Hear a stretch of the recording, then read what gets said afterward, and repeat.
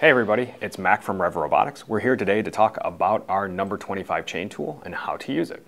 The number 25 chain tool is a really great way of being able to break chain for being able to use it on your robot, specifically usually in drivetrain applications. Over the last couple of seasons, we made some upgrades to the chain break tool. We're going to show this using our newest chain break tool. However, it is also usable with any of the previous versions that you may have.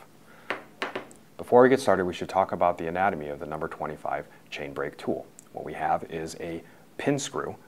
The pin screw itself ends up pushing the pin through the chain, breaking the chain itself. Below that, we have the cup point screw. The cup point screw, when it is placed in, will help to prevent the pin from being pushed all the way out.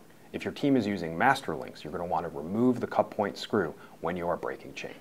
The last portion that we have is the compression screw. The compression screw serves two functions. The first function is for it to hold the chain in place in the guide so that you don't end up bending the pin screw when breaking chain. The second function is so that if you leave the pin in place in the chain, you're able to press it back through and have no need for use of a master link. We are going to run through both versions on how to break a chain using a master link and not using a master link in this video. For breaking a chain and using a master link, you're going to need your number 25 chain tool, the Allen key that is included in the kit, some number 25 chain, a master link itself, as well as some needle nose pliers. You can find 20, number 25 chain and master links on revrobotics.com, but it's also available through other major retailers.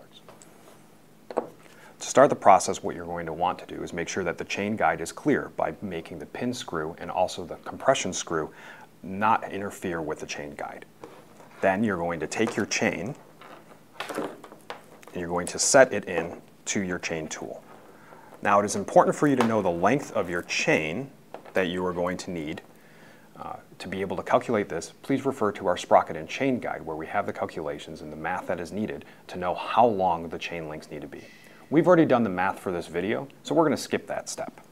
What we're going to do is then you're going to take your chain and you set it into your chain tool, the appropriate distance, and place it in take your Allen key, insert it into your compression screw, and screw the compression screw all the way down until it holds the chain against the chain tool itself to be able to keep it in place. Then you're going to take the pin screw and you're going to want to drive this all the way down. Now since we're, on, since we're using this with a master link, we want to make sure that our cup point screw is actually removed from the chain tool itself.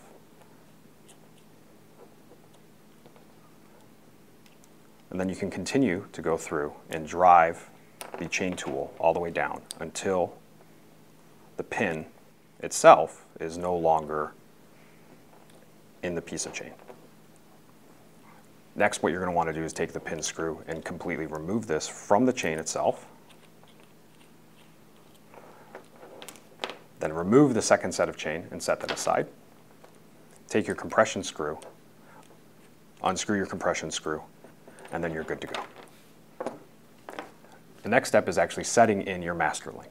So what you're going to do is you're going to take the piece of chain that you just broke while making sure that you have two inside links of the chain together when you're breaking the chain. You're going to take the, the pin portion and connect one set of the master link to the other set of chain. Then take the plate, put the plate over the top, and then you need to take your pin.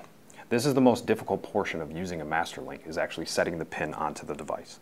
So you're going to take the pin, you're going to want to push this down where it is sitting on top of the one pin and then leaning into the other one. You take your pair of needle nose pliers, you want to place that below the pin, riding against the top of the clip. It is usually helpful to have your fingers on either side to be able to help keep the pin in place while you squeeze this in. It will make a little bit of a snapping noise and you know it is in place. Once that's done, your chain is ready to go. You're able to place it on your sprockets and onto your robot and be ready for competition. Next, we're going to do breaking the chain while you are using the pin that is pre-existing in the chain and not a master link. Again, most of the steps are the same. You're going to want to make sure that the guide is clear so that the pin and compression set screw are not in conflict with the chain when it's running in the guide. Also, you're going to want to make sure that the cup point screw is screwed into the bottom of the, of the tool to be able to help prevent the pin from coming out. Now, due to some of the manufacturing tolerances on the device, this is there to be able to help make this an easier process, but is not guaranteed that it's going to do it every single time. Some of this is going to be a little bit of touch and feel, and is something that might need a little bit of practice to be able to make perfect. So, what you're going to want to do is make sure that you have one of the sets of your inside links ready to go. Then you're going to take your chain again. You're going to set it into your chain break tool. You're going to take your compression screw and place that down and hold it in place. Then it's time to drive the pin screw in. Now, this is where a lot of teams will have some struggles and problems and where practice might be needed. You're going to be taking the pin and you're going to want to press it almost all the way through. So unlike with a master link, you do not press the pin all the way through. You're going to want to have it where it's being held in by the bottom plate of the chain. So you just need to do this very carefully and some of this is a little bit of feel. But you can kind of press this through and then you're going to want to back drive the pin screw out. If this is your first time doing this, it might take a few rounds to be able to back drive the pin screw undoing your compression set screw, and checking to see if the chain has actually been broken. Sometimes it does not get broken, and then you need to go ahead and redo those same exact steps by placing the, the chain back in, rescrewing down your compression screw, and then continuing to move the pin through the thing. Feel free to take your time when doing this process because getting it right the first time is better than having to keep trying to do it again and again.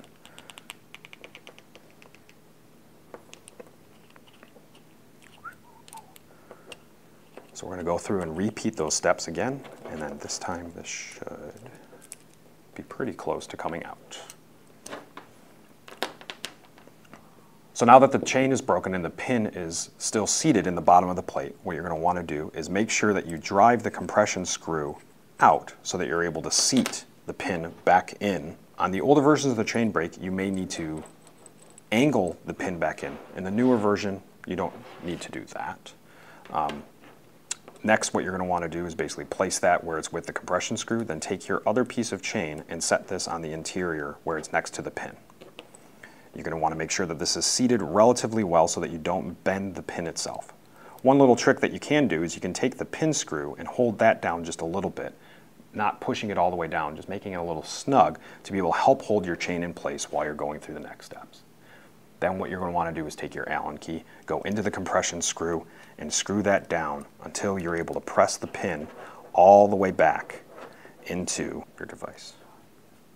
Once that's pressed, you end up unscrewing your compression screw itself. You can release the pin screw as well from holding it in there. Remove it from your chain tool, and your chain is ready to be put onto your machine. And that's how you end up using our number 25 chain tool. If you have any questions, please refer to our website, revrobotics.com, where we have additional resources that can help you build your robot or mechatronics machine. If you run into any other difficulties, feel free to reach out to our support team, support at revrobotics.com. Thank you guys for tuning in, and good luck with building your robot.